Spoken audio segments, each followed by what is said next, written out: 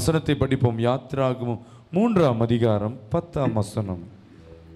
நீ இஸ்ரவேல் புத்திரராகிய என் ஜனத்தை எகிப்திலிருந்து அழைத்து வரும்படிக்கு உன்னை பார்வோனிடத்துக்கு அனுப்புவேன் வா என்றார்.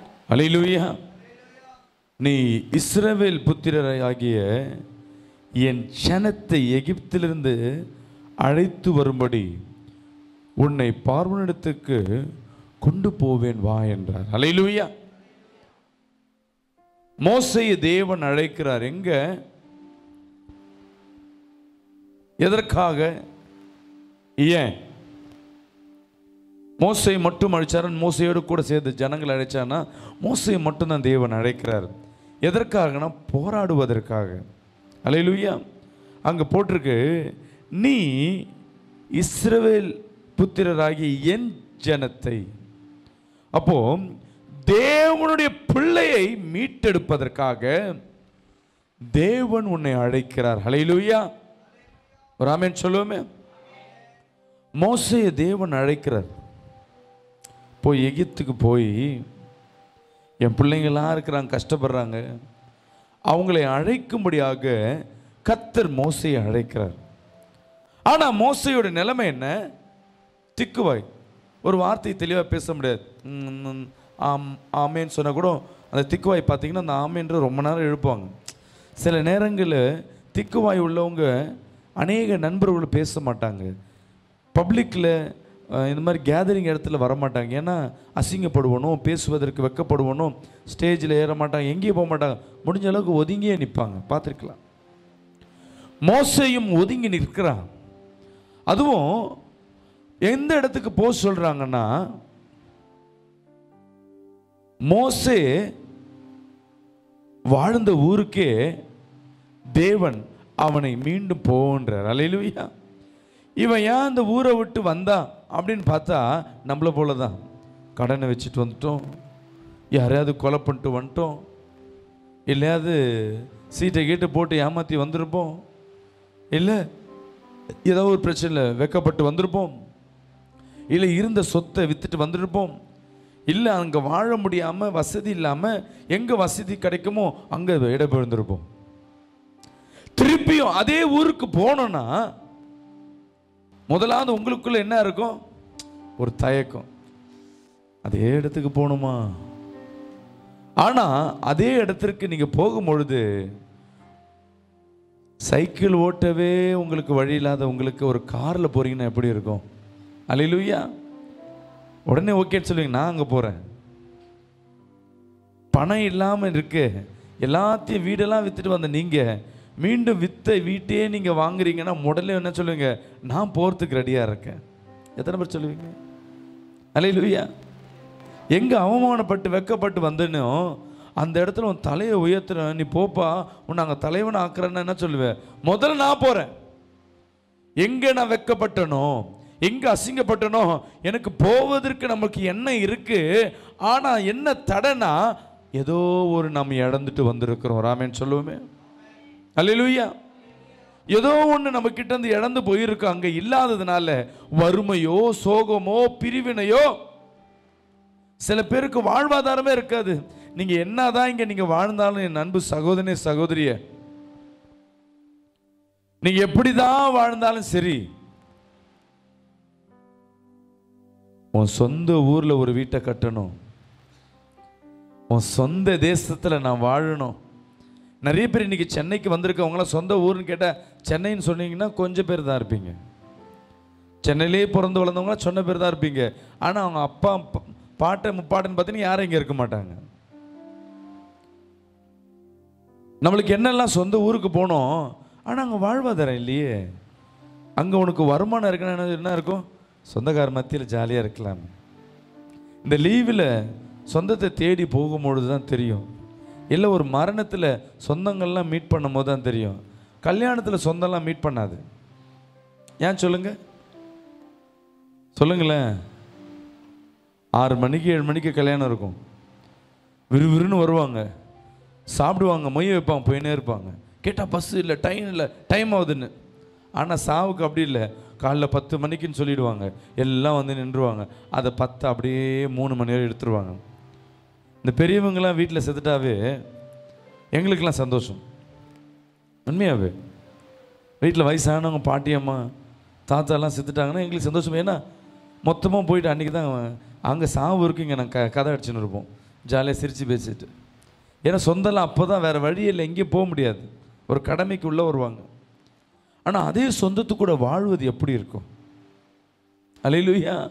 கத்தர் உங்களை பார்த்து சொல்லுகிறாரு மீண்டும் பழையது தர வா வெளிவா வா. அலையிலுயா.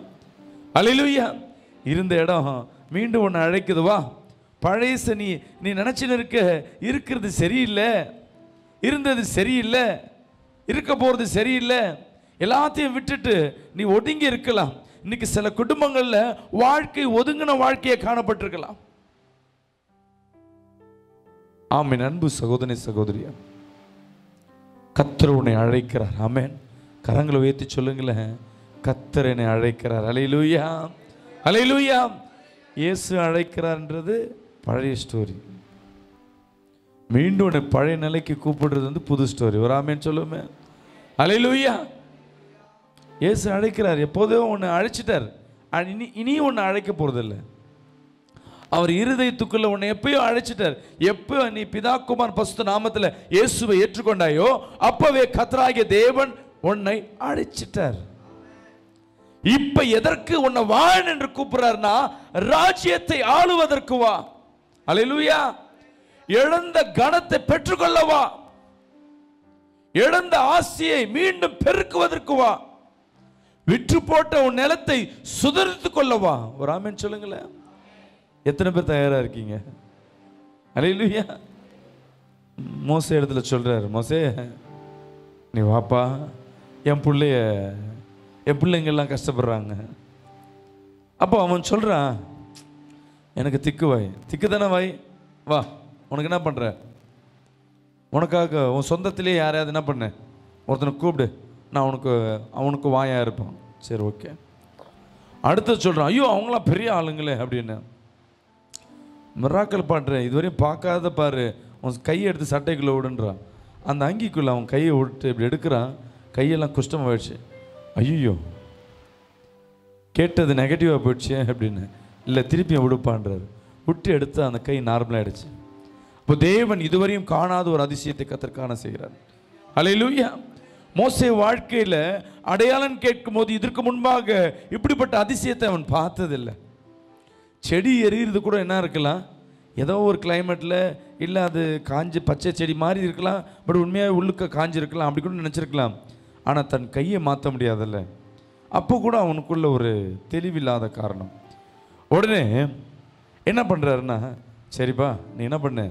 உன் கையில் என்ன இருக்குது என்ன இருக்குது என்னால் வயசாகிடுச்சு மேலே ஏறி வரத்துக்கு ஊன்றுகோலாக இருக்க சின்ன குச்சி அதை கீழே போடு. கீழே போட்டுன்னு புஷ்ஷுன்னு படம் எடுக்க ஆரம்பிச்சிச்சு பயந்து ஓட ஆரம்பித்தேன் உன் கையில் இவ்வளோ பெரிய வல்லமை இருக்குது உன்னை பிடினார் பிடிச்ச உடனே அது கோலாக மாறிடுச்சு. அப்பயாவது போனானா இல்லை ஏன்னா அந்த ஊரில் கொலை பண்ணிட்டு வந்திருக்கான்.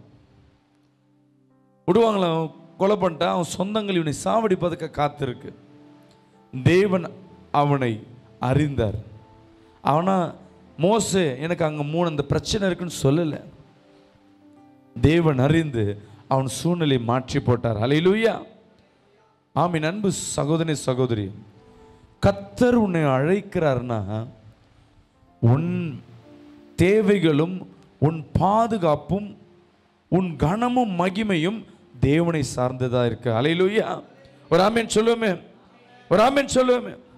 ஒரு பிள்ளையை நான் வேலைக்கு எடுக்கிறேன்னா அந்த பிள்ளைக்கு நான் தான் பொறுப்பு. வேலை செய்கிற இடத்துல ஆக்சிடென்ட் ஆகிட்டு என்ன பண்ணுவாங்க? கம்பெனி தான் பொறுப்பு. உண்மை இல்லை நல்ல கம்பெனியாக இருந்தால் என்ன பண்ணுவாங்க? கூட இருக்கிறவங்களுக்கு வேலை கொடுப்பாங்க செட்டில்மெண்ட் பண்ணுவாங்க. டுபாங்கூர் கம்பெனி தான் எனக்கு இதுக்கு சம்மந்தம் இல்லைன்னுவாங்க. அதே போல தான் தேவன் உன்னை அழைத்திருக்கிறார்னா உன் மேல் கரிசனை உள்ளவர்களாய். அலையிலூயா. உன்னை தேவைகளை நீ அறியாததும் எட்டாதும் பெரிய அதிசயங்கள் செய்யத்தக்கதாய். உன்னோடு கூட கர்த்தருந்து அவர் செய்கிற காரியம் மிக பயங்கரமாக இருக்கும். ராமேன் சொல்லுங்களேன். அப்போ கர்த்தர் உன்னை அழைக்கிறார். எங்கே பாஸ்டர் அழைக்கிறார்? வேலைக்கா ஃபோன் வரும் வரும்னு பார்க்குறேன். ஒரு காலம் வரல. காசு தரேன்னு சொன்னாங்க ஃபோன் பண்ணுறவங்க எடுக்க மாட்டுறாங்க வீடு விற்கணும் இப்போ சொல்லி பார்த்தேன். ஒரு புரோக்கரும் வர மாட்டுறாங்க விற்க மாட்டுறாங்க ஆனால் கத்தர் இந்த மாதம் செய்ய உனக்காய் ஆயத்தமாக இருக்கிற அலையிலுயா விசுவாசிக்கிறோம். கரங்களை தட்டி கத்தர் மை செலுத்துவோமா நீ எதை கேட்கிறாயோ அதை பெற்றுக்கொள்வாய். ஹலையிலுயா வார்த்தை உன்னை தேடி ஓடி வருகிறது. கர்த்தருடைய விசுவாச வார்த்தை உன்னை தேடி ஓடி வருகிறது. யார் யார் பெற்றுக்கொள்கிறீர்களோ அவர்களை கனப்பெற்றவர்களாய் காணப்படுங்கிறீங்க ஆனால் நம்ம சூழ்நிலை என்ன இருக்குது தெரியுங்களா?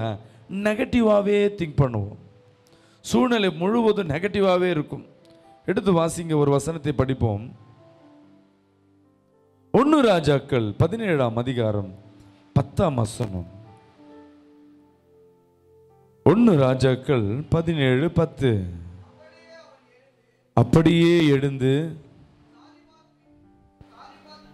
ம்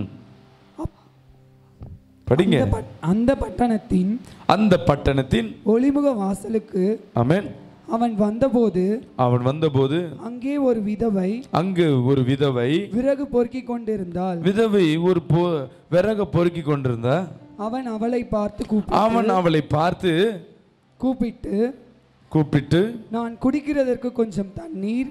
நான் குடிக்கிறவர்களுக்கு கொஞ்சம் தண்ணீரை ஒரு பாத்திரத்தில் எனக்கு கொண்டு வா என்றான். என்றார். அப்படியே அவன் எழுந்து அப்படியே அவன் எழுந்து சாரிபாத்துக்கு போனான். அமேன் அந்த பட்டணத்தில் ஒளிமுக வாசலுக்கு அவன் வந்தபோது அங்க ஒரு விதவை விறகு பொறுக்கிக் கொண்டிருந்தாள். ம். அவன் அவளை பார்த்து கூப்பிட்டு. நான் குடிக்கிறதற்கு கொஞ்சம் தண்ணீர் ஒரு பாத்திரத்தில் எனக்கு கொண்டு வா என்றான். இங்க வர சொல்றாங்க. இன்னைக்கு தலைப்பு என்ன? வா. இங்க ஒரு விதவை ஒரு இடத்துல சம்பவம் நடக்குது. விறகு புரைக்கி கொண்டிருக்காங்க. அந்த இடத்துல தீர்க்கதரிசியா இருக்கிற தீர்க்கதரிசி அங்கே போகிறாரு போயிட்டு ஏதாவது ஒரு நன்மை கிடைக்குமா? இந்த வீட்டில் என்ன பண்ணுறாரு என்னம்மா இருக்குது எப்படிம்மா இருக்குன்னு சொல்லி கேட்குறாரு விசாரிக்கிறாரு. இதுதான் இந்த சம்பவம். அப்போ அவர் சொல்கிறார் கொஞ்சம் எனக்கு ஒரு பாத்திரத்தில் எனக்கு கொஞ்சம் தண்ணீர் கொண்டு வா. முதல் கேள்வி கேட்குறாரு முதல் எடுத்தோடனே கேட்டது இப்போ வேணா தண்ணீர் பிரச்சனையாக இருக்கலாம் அப்போ பிரச்சனை இல்லை. முதல் வார்த்தை கேட்ட உடனே ஊழியக்காரர் தானே கேட்குறாரு அப்படின்னு எடுத்துகிட்டு வந்த அந்த சகோதரி கொண்டு கேட்டது தன்னால் முடியுன்றத அவங்களுக்குள்ள நம்பிக்கை இருக்குது எடுத்துட்டு வந்து கொடுக்குறாங்க. இங்கே கவனிங்க. அந்த தண்ணீரை கேட்ட உடனே தன்னால் முடியுது எடுத்துகிட்டு வந்து கொடுக்குறாங்க. அடுத்த வசந்த படிங்களேன். கொண்டு வா கொண்டு வர அவள் போகிற போது போகிற போது அவன் அவளை நோக்கி கூப்பிட்டு அமேன் கொஞ்சம் அப்பமும் உன் கையிலே எனக்கு கொண்டு வா என்றான். இங்க எக்ஸாம்பிளுக்கு சொல்றேன். ஒரு கஷ்டப்படுற ஒரு விதவை பெண். தீர்க்கதரிசி தேவன் நம்ம வீட்டை தேடி வராரு அப்படின்னாவே ஒரு அற்புதம் ஒரு மாற்றங்கள் இருக்கும். இந்த பிள்ளை வந்து ஏதோ விறகு பிறக்கின்னு இருக்கு. நான் வந்தோடனே என்ன சொல்கிறேன் எனக்கு போய் தண்ணி எடுத்துட்டு வாமான்றேன் சரி தண்ணி இருக்குது தண்ணி ஒரு பிரச்சனை இல்லை. இந்த பிள்ளை உடனே போகுது. உடனே நான் என்ன பண்ணுறேன் போகிறத அறிஞ்சு மாமா இரு இரு. தண்ணி மட்டும் வேணாம். எனக்கு குடிக்க என்ன போதாது? தண்ணி பத்தாது. சாப்பிட ஏதாவது என்ன பண்ணு? கொண்டு வான்ற அலையிலுயா இவங்க அந்த இடத்துல தான் போகிற ஆள் ஸ்டக் ஆயிட்டாங்க.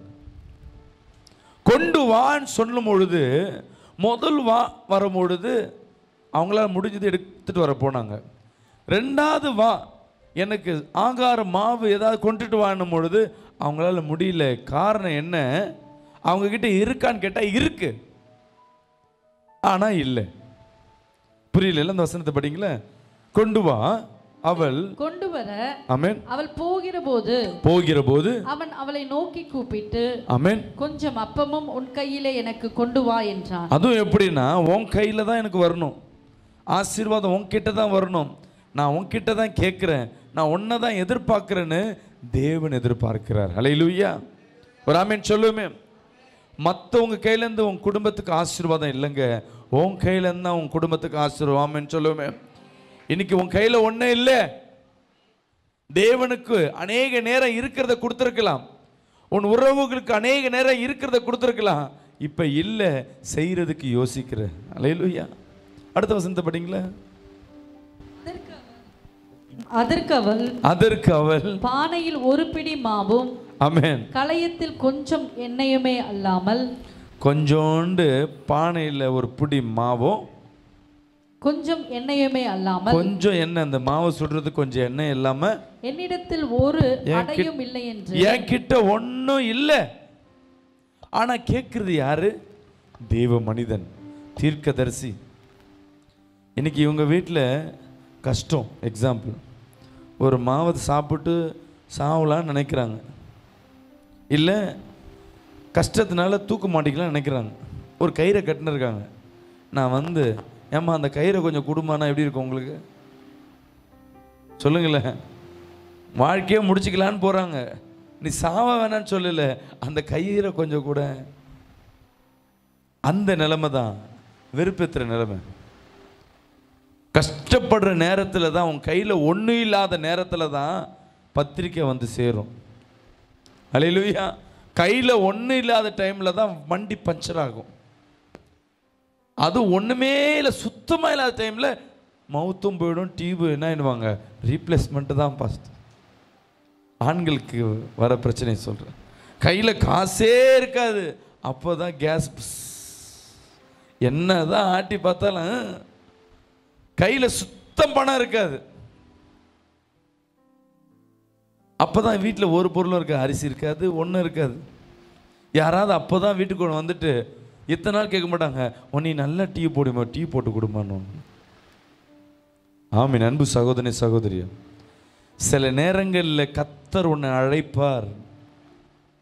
கைகளில் ஒன்றும் இருக்காது. ஆனால் கொடுக்க வேண்டிய நிலைமை நான் வந்துட்டு ஊழியக்காரங்க இந்த மாதிரி இந்த அம்மா வீட்டில் சாவர நிலைமையில அம்மா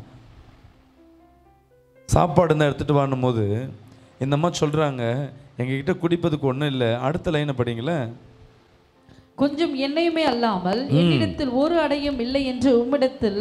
உம்முடைய தேவனாகிய கர்த்தருடைய ஜீவனை கொண்டு சொல்லுகிறேன்.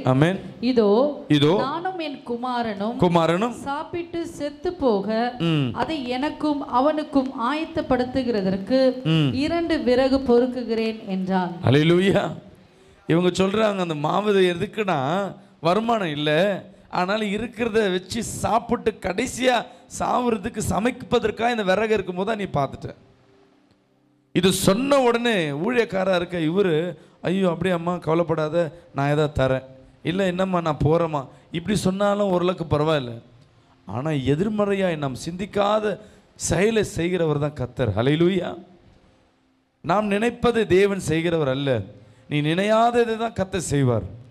அங்கே அதற்கு அந்த சகோதரி சொல்றா பாருங்களேன் அப்பொழுது எலியா அப்பொழுது எலியா அவளை பார்த்து அவளை பார்த்து பயப்படாதே பயப்படாத நீ நீ போய் உன் வார்த்தையின்படி ஆயத்தப்படுத்து. போதுமா பரவாயில்ல உன் வார்த்தையின்படியே எனக்கு ஆயத்தப்படுத்துன்னு சொல்லலை. யாருக்கு ஆயத்தப்படுத்து? உனக்கு ஆயத்தப்படுத்து. ஆயத்தனம் என்ன? இந்த அம்மா என்ன சொல்கிறாங்க நான் சாப்பிட்டு சாவ போகிறேன்னு சரி பரவாயில்ல. நீ சாவறதுக்கு கயிறெல்லாம் மாட்டிக்கோ. ரயில்வேக்கு டை டிக்கெட்லாம் புக் பண்ணிக்கோ. இல்லை விஷப்பாட்டெலாம் வாங்கி வச்சுக்கோ. இருந்தாலும் என்ன பண்ணு? எனக்கு சாப்பாடை போடு. படிமா அதை? நீ போய் உன் வார்த்தையின்படி ஆயத்தப்படுத்து. ஆனாலும் ஆனாலும் முதலில் அதிலே எனக்கு ஒரு சிறிய அடையை பண்ணி. போதுமா நீ எப்படி வேணா போ. ஆனாலும் எனக்கு நீ சர்ச்சைக்கு காணிக்க குத்து தான் ஆகணும்னு இந்த வீட்டில் என்ன சொல்லுவாங்க? நீலாம் ஒரு ஊழியக்காரையா கல்ல தீர்க்கதரிசி சொல்லியிருப்பில்ல? ஆமாம் ஆனால் அந்த சகோதரி சொல்லலை. இதுதான் வித்தியாசம் போமா இன்னைக்கு இருக்க காலகட்டங்கள் கீழே போயிரு பார்த்துமா நெருக்கம் வரும்பொழுது தான் கத்த சோதிப்பார்.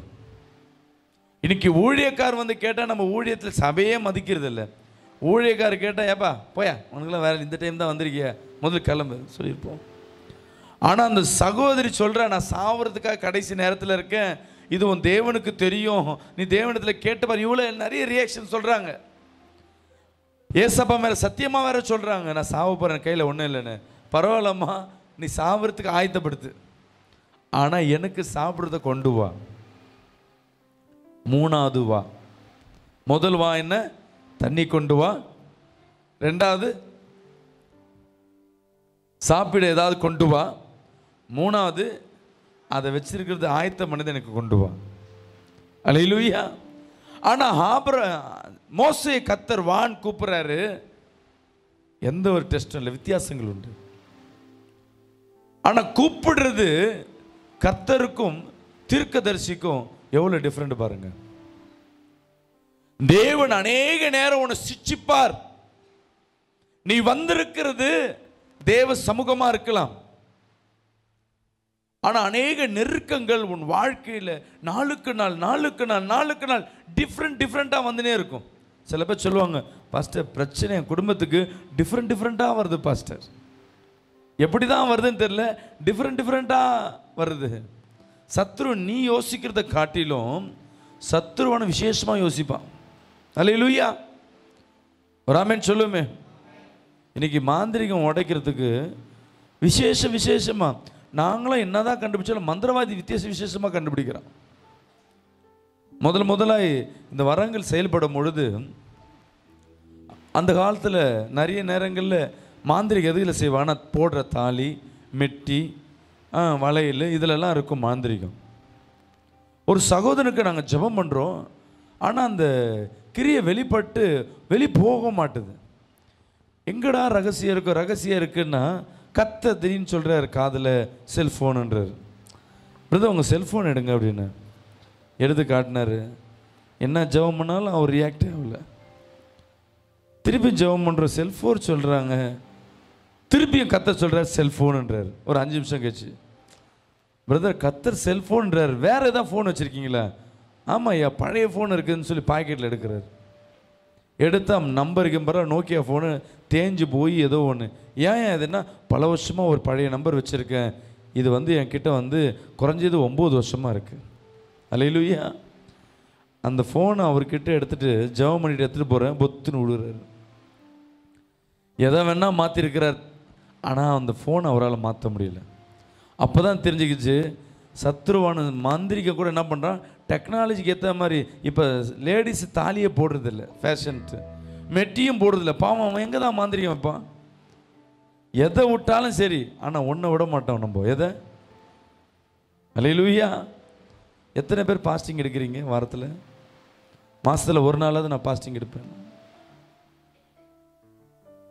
நம்ம சபையில் ஒரு பாஸ்டிங் வைக்கலான்னு இருக்கும். இருபத்தி நாலு மணி நேரம். கண்டிஷன் என்ன நீ சாப்பிட்லாம் என்ன வேணால் பண்ணலாம். ஃபோன் மட்டும் எடுக்கக்கூடாது. முடியுமா? ஸ்டேட்டஸ் போடக்கூடாது. ஃபேஸ்புக் பார்க்கக்கூடாது. யூடியூப் பார்க்கக்கூடாது. இன்ஸ்டாகிராம் பார்க்கக்கூடாது. எந்த ஒரு பதிவுகளும் அதை பார்க்கக்கூடாது. தொடவே கூடாது. இன்றைக்கி இருக்கிறதுலே நெருக்கமானது இதுதான். முடியாதது அவன் தெரிஞ்சுக்கிட்டான் யாரு? சத்ருவான. நீ எதில் வீக்குன்னு இன்னைக்கு நம்ம கத்தர் அழைக்கிறாருன்னா கூட ஒரு சோதனையும் வருது. சோதனை பெருசா இல்லை இன்சிடென்ட்டா அந்த பிள்ளை திருப்பியும் போதா? அவர் சொல்ற மூணு வா சொல்றாரு. இதுல கஷ்டமான வா லாஸ்ட்ல இருக்க வா தான் கஷ்டமா இருக்கிற அந்த வர சொல்லும்பொழுது எடுத்துட்டு வர சொல்லும்போது அந்த சகோதரி சும்மா இல்லை படியேன் ஆனாலும் ஆனாலும் முதலில் அதிலே எனக்கு ஒரு சிறிய அடையை பண்ணி என்னிடத்தில் கொண்டு வா. கொண்டு வாமா? பின்பு உனக்கும் உன் குமாரனுக்கும் பண்ணலாம். அலையிலுயா இதை சொல்ல முடியாது இருக்கா? இருக்கிறத கொஞ்சன்றோம். அதுலயே பங்கு கேட்குறாங்க படிமா அடுத்தது. கர்த்தர் தேசத்தின் மேல் மழையை கட்டளையிடும் நாள் மட்டும். அது வரையும் மூணாவது வா சொன்னதை ஒரு வார்த்தை தான் கேட்டோம். நம்ம கேட்ட உடனே உடனே ரியாக்ஷன் பண்ணியிருப்போம். ஆனால் அவர் வார்த்தையை சொல்லி முடிக்கல. கவனிங்க. இன்னைக்கு நம்ம வார்த்தை ஒருத்தர் நம்ம குடும்பங்களில் ஒரு வார்த்தை சொல்லுவதற்கு முன்பாகவே சண்டை வந்துடும் ஏன்னா இனி இதை தான் சொல்ல போகிறேன்னு அவங்க முடிவு பண்ணுவாங்க ஆனால் நம்ம நினச்சிருக்கிறது வேறையாக இருக்கலாம். தேவனும் உன்னை குறித்து அநேக நாட்கள் வார்த்தையில் பேசிக் கொண்டிருக்க. அந்த வார்த்தையை கேட்க நம்ம ஆயத்தமாக இல்லை. மோசை வான் கூப்பிடுறாரு. ஆனால் அவனுக்கு அந்த வான் கூப்பிடுற வார்த்தையில் அவனுக்குள்ள ஐக்கியம் இல்லை. அவனுக்குள்ள பயம். இவ்வளோ பெரிய ஜனங்களை மீட்டெடுப்பதற்கு என் கூட வெப்பன் கொடுக்கல. ஜனங்கள் இல்லை. இந்த ஜனங்களை நான் போய் எப்படி மீட்டெடுப்பேன்? இவங்களாம் முரட்டாட்டாக இருக்காங்களே. பார்வன் ராஜா பயங்கரமா இருக்கானே. நான் எப்படி இருப்பேன்? கொஞ்சம் தயங்கியிருந்தான் அலையிலுயா தேவன் சித்தத்தை யார் செய்ய ஆயத்தமாக இருக்கிறீங்களோ? தேவன் உன்னை அழைக்கிறார்னா முதலாவது தெரிஞ்சுக்கொள்ளுங்க. தேவன் உன் பட்சத்தில் இருப்பார். ஹலையிலூயா ஒரு ஆமேன் சொல்லுவோமே. ஒரு அலையிலேயே சொல்லுவோமே. அவன் போகிற இடம் எல்லாம் அவனுக்கு எப்படிங்க இருந்தது மோசைக்கு? அற்புத அடையாளங்கள். ஹலையிலூயா இன்னி வரை வேதம் சொல்லப்பட்டிருக்கு. மோசை காலகட்டங்களில் செய்த அற்புதம் போல இனி எங்கேயும் நடக்காது. நடக்கவும் நடக்காது. ஹலையிலூயா உங்கள் வாழ்க்கையிலும் கத்தர் இன்னைக்கு அழைக்கிறார். அவர் ஊழியத்திற்கு அவர் பணி செய்வதற்காய். அலையிலுயா நீ இழந்து போன ஸ்தானத்திற்காய். நீ இழந்து போன சமாதானத்திற்கு நேராக. நீ கடந்து வந்த பாதை நெருக்கம்லாம் இருக்கும். அந்த நெருக்கத்தில் மாற்ற மீண்டும் உனக்கு ஒரு சந்தோஷமான ஒரு வாழ்க்கை காட்டுவதற்காக. எத்தனை பேர் ஆயத்தமாக இருக்கீங்க? அலையிலுயா பழைய வாழ்க்கை கிடைச்சா நல்லா இருக்குமே.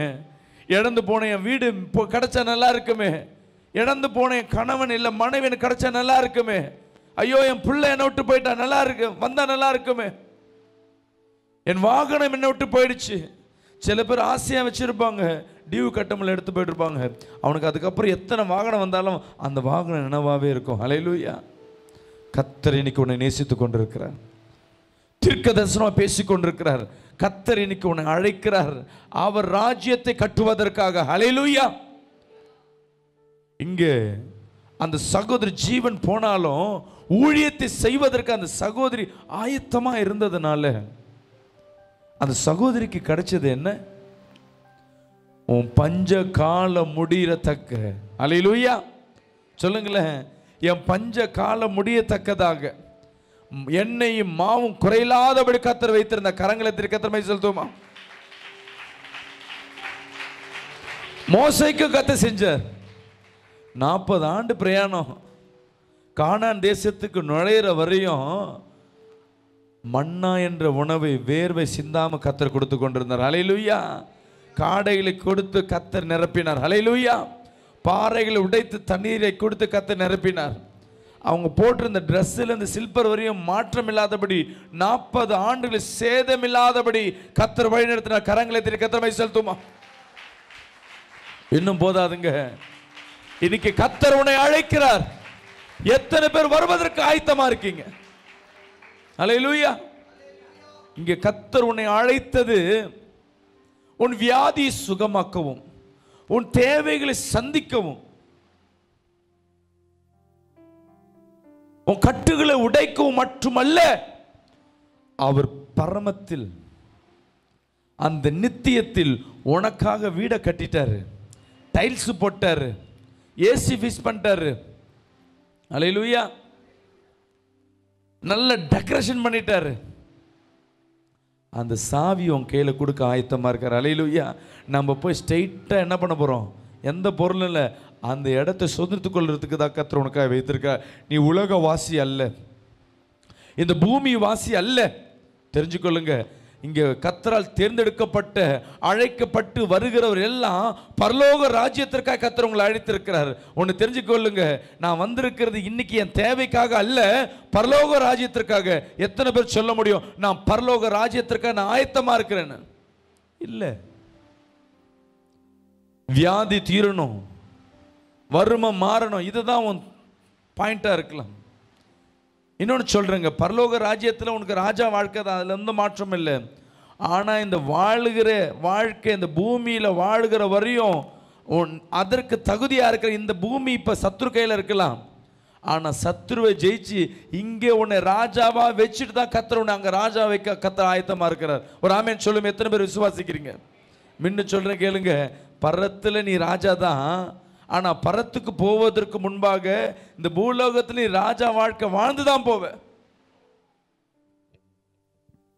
அலையிலூயா மோசையின் வாழ்க்கை இன்னைக்கு வரையும் அவனை கடவுள் போல பாவிக்கிறாங்கங்க. ஆறு லட்சம் புருஷருக்கு அவன் தான் ராஜாவா இருந்தவன் ராமேன் ஆமேன் சொல்லுவோமே.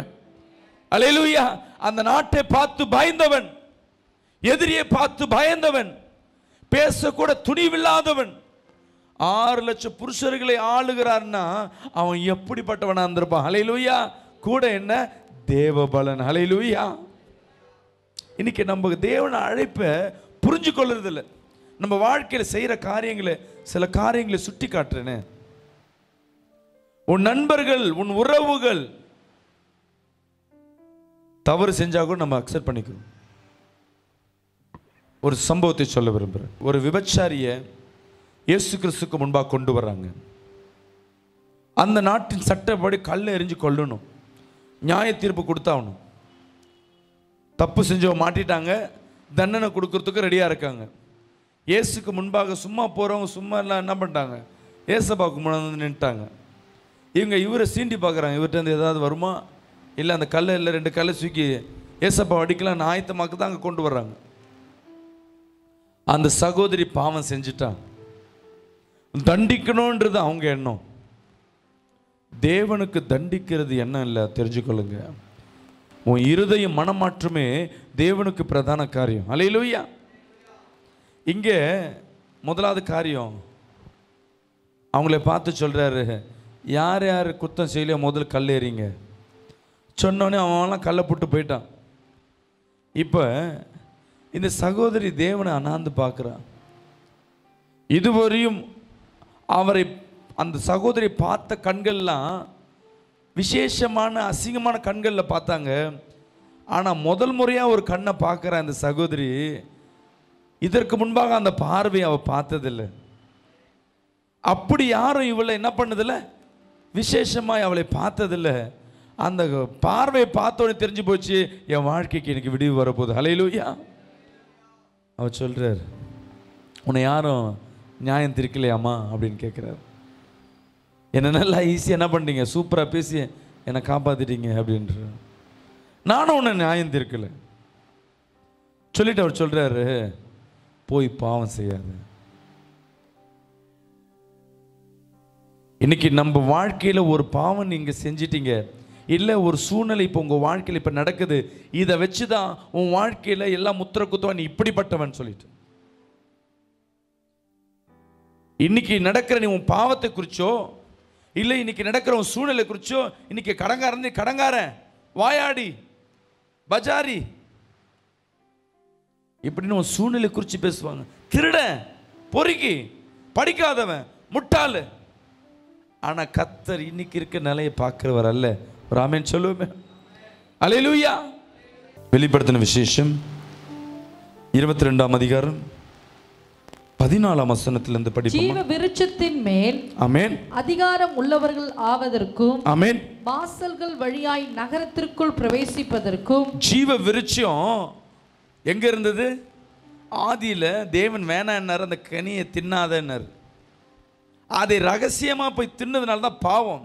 கத்த சொல்றார் நான் கொடுத்த ஜீவரிஷத்தை நேர்மறையாய் நீ பெற்றுக்கொள்ள விரும்பினா நகரத்தின் வாசன் வழியாக பிரவேசிப்பதற்கு அவருடைய படிங்க. கற்பனைகளின்படி செய்கிறவர்கள் பாக்கியவான்கள். பாக்கியவான்கள். நாய்களும். நாய்களும். சூனியக்காரரும். சூனியக்காரரும். விபச்சாரக்காரரும். நாய்கள்னா என்னன்னா செஞ்ச பாவத்தையே திருப்பி திருப்பியும் அறிக்கை செஞ்சு விட்டுட்ட பாவத்தையே மீண்டும் மீண்டும் செய்கிற உங்களுக்கு பேர் நாய்கள். நான் சொல்றேன் யார் விட்ட பாவத்தையே நாய்ஜி தான் கக்குனதே என்ன பண்ணுமா? தின்னும். ரெண்டாவது சூனியக்காரர்கள். நம்மளாம் சூனியக்காரர் கிடையாது. ஆனால் சபைக்குழுக்குள்ளேவே சூனியக்காரர்கள் உண்டு. இந்த குடும்பத்தை கெடுக்க இன்னொருத்தர் மூலமாக சொல்லி குடும்பம் கெடுக்கிறோம் பார்த்தீங்களா? அதுவே சூனியக்காரி வேலை. இன்னொரு குடும்பத்தை கெடுக்க ஆயத்தமாக இருக்கீங்களா? அது சூனியக்காரி வேலை. இவர்களுக்கெல்லாம் பரலோகத்தில் இடம் இல்லைன்றார். அடுத்தது விபச்சாரக்காரரும் விபச்சாரக்காரரும் கொலை பாதகரும் கொலை பாதகரும் விக்கிரக ஆராதனைக்காரரும். விக்கிரக ஆராதனைன்னு என்னென்ன நம்ம சொல்லுவோம்? நான் சிலையெல்லாம் வழிபடுறது இல்லைங்க. ஆனால் மாதா மட்டும் எனக்கு ரொம்ப பிடிக்குங்க. இந்த ஜெபமாலை எனக்கு ரொம்ப பிடிக்குங்க. அலையிலுயா. இந்த வேலை எனக்கு ரொம்ப பிடிக்குங்க. என் பாஸ்டர்னா எனக்கு ரொம்ப பிடிக்குங்க. அதுவும் விக்கிரக ஆராதனை. யாரும் மெசேஜ் கொடுத்தாலும் பிடிக்காது. என் பாஸ்டர் கொடுத்தா தான் பிடிக்கும். விக்கிரக ஆராதனை. அலையிலுயா என் ஜாதியில தான் பொண்ணு வேணும். பையன் வேணும். விக்கிரக ஆராதனை. இந்த நாள் கிழமை பார்க்கறதெல்லாம் விக்கிரக ஆராதனை. இந்த டேட்டில் தான் எனக்கு வேணும். இது விக்கிரக ஆராதனை. எதை நீ தேவனை காட்டிலும் அதிகமாக ஐக்கியம் கொள்ளுகிறாயோ அது எல்லாம் விக்கிரக ஆராதனை. இப்படிப்பட்டவர்களை கத்தர் உள்ள அழைக்கலன்னு சொல்லுகிறார். ஆனா வான்னு சொல்லிட்டாரு இதெல்லாம் விட்டுட்டு வா. படிங்களேன் பொய்யை விரும்பி அதன்படி செய்கிற யாவரும் இருப்பார்கள். பொய் பேசுறது இல்ல முக்கியம். யதார்த்தமா பொய் பேசுறது வேற. பொய் பேசுறதுலே சில பேருக்கு பிரியமா இருக்கும். பொய்யும் தெரியும். நம்ம பேசுறது பொய்யும் தெரியும். தெரிஞ்சு விருப்பத்தோடு பேசுறது தேவனுக்கு பிரியமில்லாத காரியம். படிங்க. சபைகளில் இவைகளை உங்களுக்கு சாட்சியாக அறிவிக்கும்படிக்கு இயேசுவாகிய நான் என் தூதனை அனுப்பினேன். அமேன் இங்க பாருங்க. சபைகளுக்கு இதெல்லாம் எச்சரிக்கையாயிருன்னு சொல்லிட்டு தூதனை அனுப்புறாரு யார் அந்த தூதன் தெரியுங்களா? பக்கத்துல கை பிடிச்சு சொல்லுங்களேன். ஒவ்வொருத்தருக்கும் பக்கத்துல இருக்கவங்க தான் தூதன்.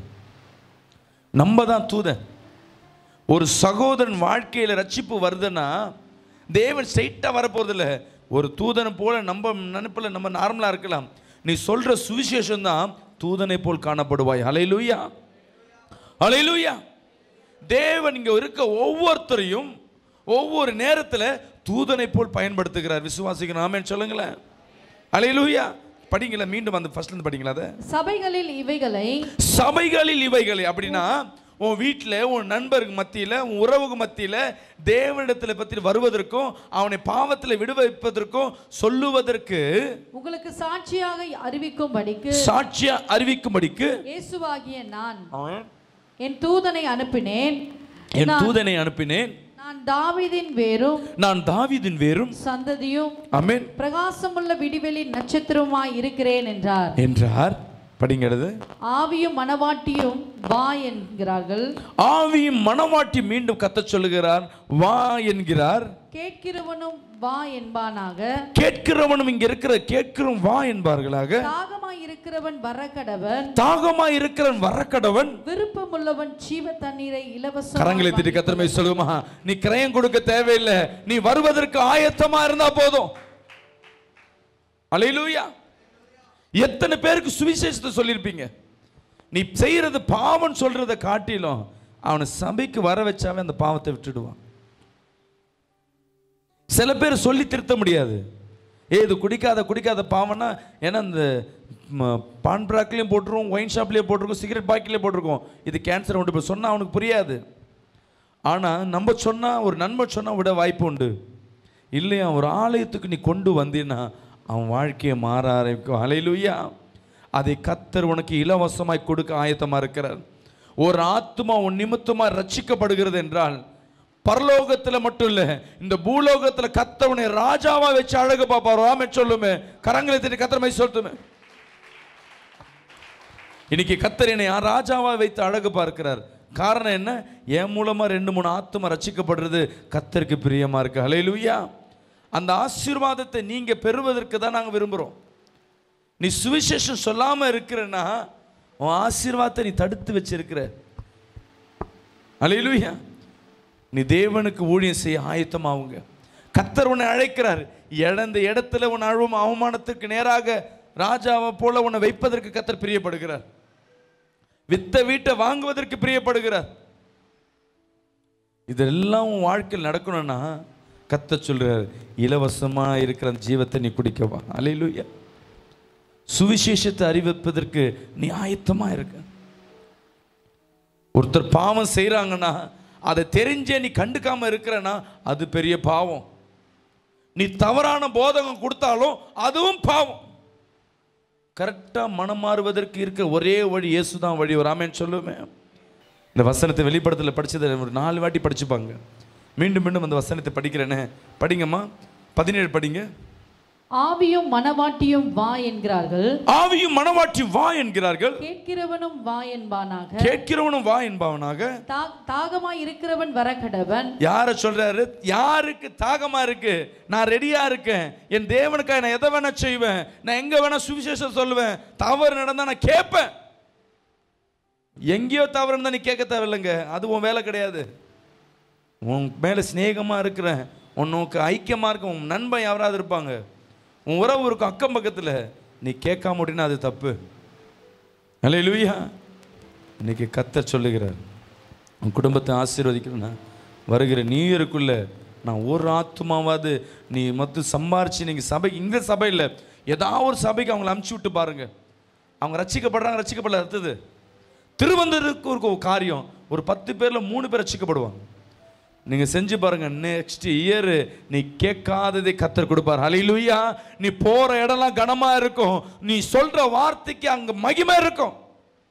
இழந்தவைகளை கத்த திரும்ப கொடுக்க அவர் ஆயத்தமாக இருக்கிறார்.